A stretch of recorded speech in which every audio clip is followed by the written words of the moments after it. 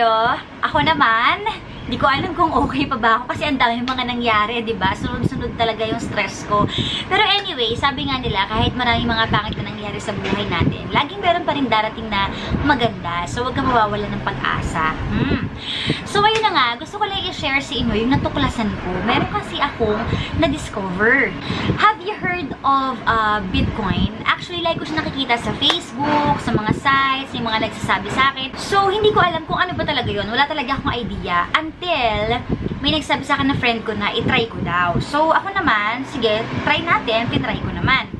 So, dahil na-curious ako, syempre, nag-try ako, pero maliit lang na halaga. Ayaw naman nating matalo agad, ba? So, naglagay lang ako ng small amount of money, mga 700 pesos lang. So, ayun na. Nung Sunday ko lang siya na-try.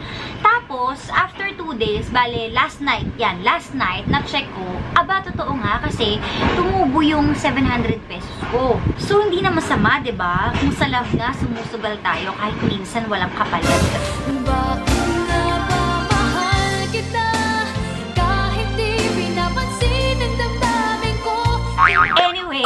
nga. So, ipapakita ko sa inyo kung magkano yung kinita ng pera ko.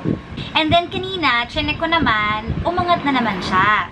So, bukod doon, guys, nag-try din ako maglagay ng medyo malaki-laki. Kasi, pwede mo naman siyang i-withdraw eh. So, wala ka pa rin talo, pwede mo pa rin siyang i-withdraw. So, naglagay ako, basta secret na lang yon So, nakita ko last night, ito yung profit niya. And then, as of the moment, right now, chinek ko ulit, umangat na naman siya. So, imagine kung araw-araw wala kang ginagawa, tapos umaangat na umaangat yung pera mo, edi bongga, 'di ba? Pero yun nga, sabi ng iba, ah, scam yan, ganyan-ganyan. Yung iba naman nagsasabi, ah, legit to. So, guys, para tong stock. So, depende rin naman sa'yo yun kung paano ka maglalaro. Eto pa guys, syempre kung malaki yung ilalagay mo doon, syempre mas malaki din yung possibility na mas malaki yung makuha mo. Pero kung maliit lang naman yung ilalagay mo, aba wag kang mag-expect na malaki yung makuha mo, 'di ba? Meron pa rin naman. Pero pero wag kang mag-expect, 'di ba? Parang sa pag-ibig lang din 'yan. Kung mas malaki yung effort na ibibigay mo, mas mapapasagot mo siya, 'di ba?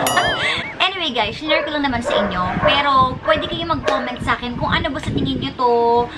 Ah, okay ba to? Maganda ba to? Na-try nyo na ba to? Ano yung mga experience nyo? Comments, suggestions, yan. Tatanggapin ko po yan lahat. Pero based on my experience, mukhang okay naman siya kasi na-try ko na nga. And isa-send ko pala sa inyo yung link dito sa description box. So check nyo na po yung link. Click nyo lang yung link na ilalagay ko. And then pwede na kayo makapasok doon. Ayun. So yun lang muna right now. And gusto ko palang sabihin na happy anniversary pala sa BN Limited. Kasi today, October 3, anniversary nila. So, ayan, happy anniversary po. So, ayun na nga guys, that's all for now. And thank you for watching. Subscribe to my channel. Bye!